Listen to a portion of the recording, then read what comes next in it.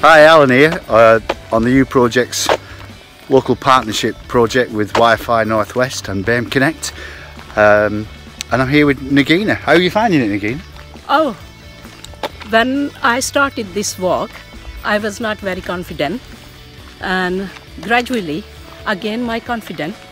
And uh, after that, we climbed few hills of Peak District. Uh, I was thinking how I'm going to manage with my knee replacement and my asthma, but done really well.